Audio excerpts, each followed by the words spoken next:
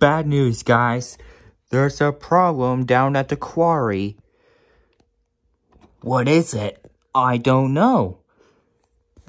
Are the equipments broken? I don't know. Are the workers sick? I don't know.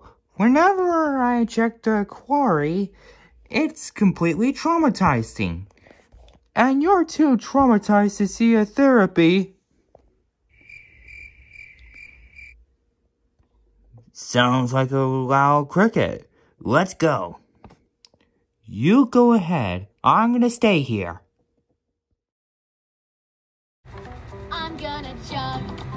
I'm gonna chew. What on earth? Where did that come from? Search me.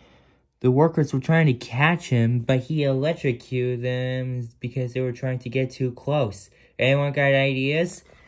Aye, it's just a giant alien, so all you need is one of these.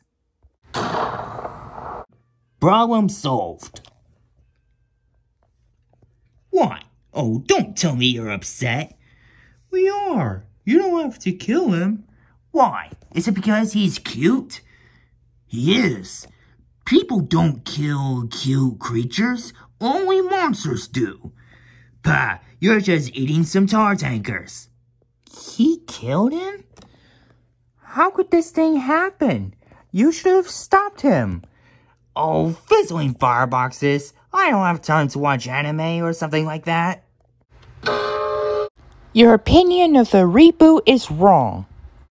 What?